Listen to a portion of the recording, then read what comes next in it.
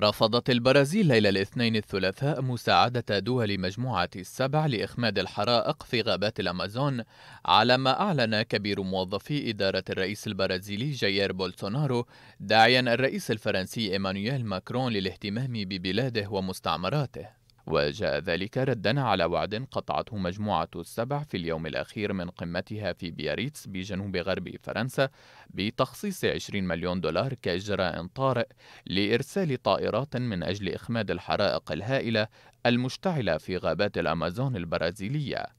وإضافة إلى إرسال طائرات تعتزم فرنسا تقديم دعم عسكري من قواتها المنتشرة في غويانا.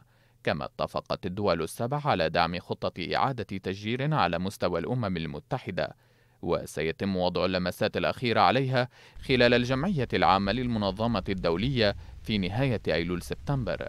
وأكد وزير الدفاع البرازيلي فرناندو أزيفيديو إي سيلفا أن حرائق الأمازون تحت السيطرة مع نشر أكثر من 2500 عسكري وهطول أمطار في غرب الأمازون على حد قوله.